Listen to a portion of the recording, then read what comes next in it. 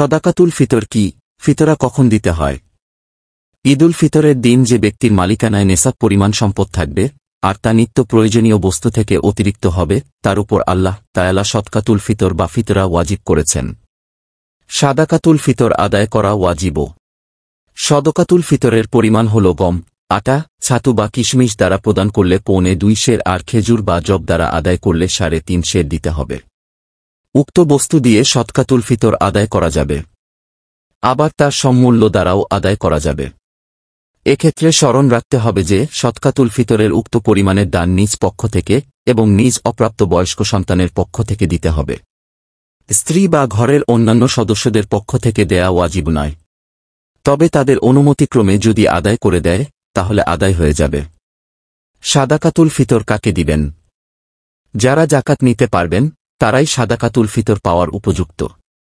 তবে সমাজের দরিদ্র অনাথ এবং নিজের গরিব আত্মীয় ও প্রতিবেশীকে দেয়াটাই অধিক উত্তম।